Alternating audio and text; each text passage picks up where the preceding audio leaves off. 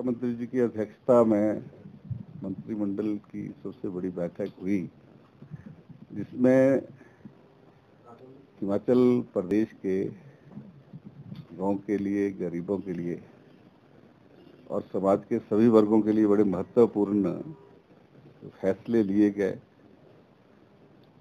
जिसमें सबसे पहला जो फैसला है कि गाँव के अंदर पीने के पानी के लिए जो केंद्र से हमें जल जीवन मिशन में करोड़ों रुपए माननीय मोदी जी की कृपा से मिला है।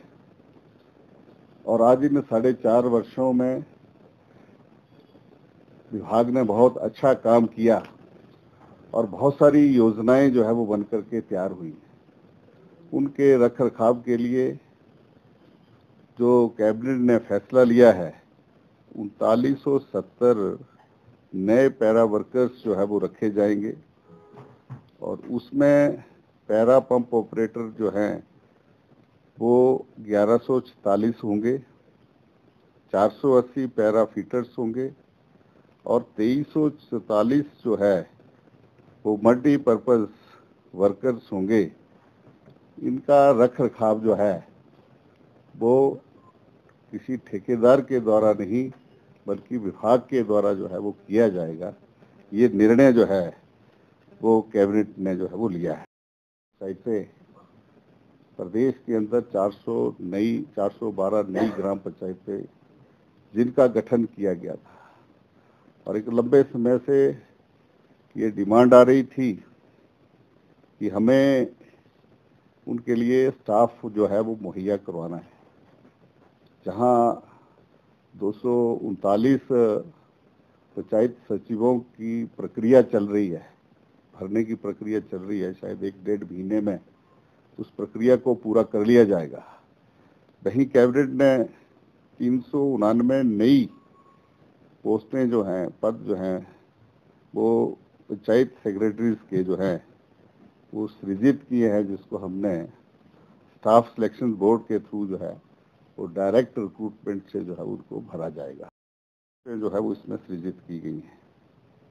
इसके साथ साथ एक और महत्वपूर्ण फैसला लिया गया है कि जो बेंच मार्क डिसेबिलिटी जो जो पर्सन हैं, उनके लिए क्लास फोर से क्लास थ्री क्लास थ्री से क्लास टू क्लास टू से क्लास वन के लिए जो है वो प्रमोशन में जो है, वो उनको कोटा जो है वो चार परसेंट जो है उसमें दिया जाएगा।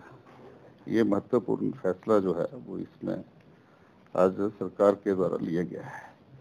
एक और Himachal Pradesh staff selection commission Hamirpur और हमारे जितने भी बोर्ड हैं, यूनिवर्सिटीज़ हैं, इनको जो है वो Himachal Pradesh prevention of malpractice, इस, जो है वो दायरे में जो है वो इसमें लाया गया है। साथ में कैबिनेट ने एक, सब तहसील जालग, तहसील, अपना, तहसील जयसिंहपुर में, डिस्ट्रिक्ट कांगड़ा में उस क्षेत्र की आवश्यकता को देखते हुए इसकी स्वीकृति दी है। इसके अलावा भी जो हमारे यहाँ पर विडो रीमैरिज होती थी, जिसमें हम पचास हज़ार रुपए की जो है उसमें मदद करते थे, उसको बढ़ा करके पैंसठ हज़ार किया गया है। और इसके साथ साथ एचआरटीसी को नो डिफ़ॉल्ट गारंटी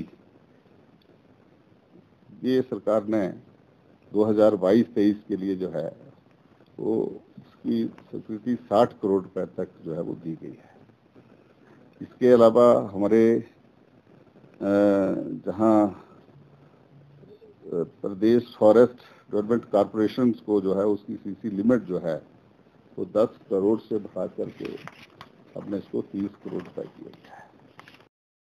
मुझे भी राजनीति में करीब 25 वर्ष का समय हुआ है। और इस माननीय सदन में भी 20 वर्ष का समय लगातार मैं इस सदन का सदस्य रहा हूँ।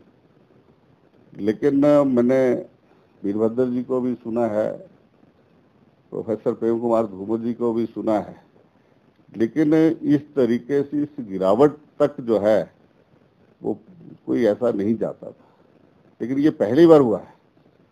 एक हिमाचल प्रदेश की राजनीति में एक शालीनता है और ये देवभूमि है। ये शालीनता बनी रहनी चाहिए। ये नेता, नेतृत्व का जो है, वो एक विषय रहता है। तो मुझे लगता है कि माननीय प्रतिपक्ष के नेता को इस तरह की बयानबाजी नहीं करनी चाहिए। और इस पर जो है, वो में जो है वो लगाम लगानी लग, लगाम लगानी चाहिए। क्योंकि ये हिमाचल प्रदेश के लोग जो हैं वो इस तरह की भाषा को भी जो है वो सहन नहीं करते तो ये दुर्भाग्यपूर्ण स्थिति है। इनकी भरी जाएँगी। जबकि 124 अतिरिक्त पोस्टें जो है वो सृजित की गई है।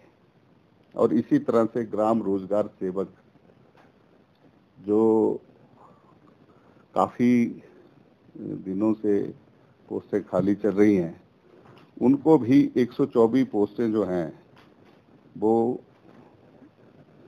कैबिनेट के द्वारा जो है, वो नई सृजित वो की गई हैं। ये प्रदेश के अंदर ग्रामीण क्षेत्रों के अंदर पंचायती राज जो है, वो संस्थाएँ जो है, वो इससे सुदृढ़ होंगी। क्योंकि पिछले दिनों, करीब 2018 में जब हमारी सरकार बनी थी तो जहाँ हम 200 से 250 करोड़ रुपया हम मनरेगा में खर्च करते थे, आज वो बढ़ करके 1160 करोड़ हुआ है। और अगर अगर हम अलग अलग विभागों का अलग अलग इसमें देखें कि जहाँ वित्त का पैसा और प्लानिंग का पैसा, स्वच्छ भारत अभियान, वो पैसा तो करीब दो ढाई हज़ार करोड़ से ज़्यादा हम आज गाँव के अंदर जो है वो खर्च कर रहे हैं। तो इस करके विभाग को स्ट्रेंथन करने की ज़्यादा जो थी वो आवश्यकता थी। हाँ पेंशन का प्रावधान तो पहले से है तो थोड़ा सा नॉमिनल जो है वो इसमें जो है वो बढ़ाया गया है।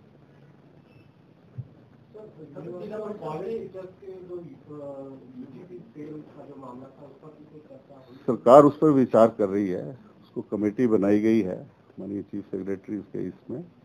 उसमें जल्दी विचार उस पर किया जा रहा है।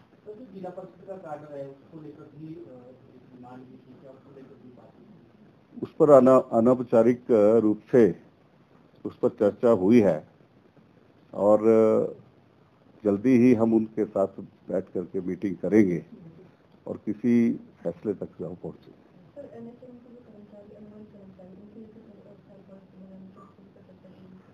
नहीं अभी उस पर जो है वो विचाराधीन है उस पर चर्चा।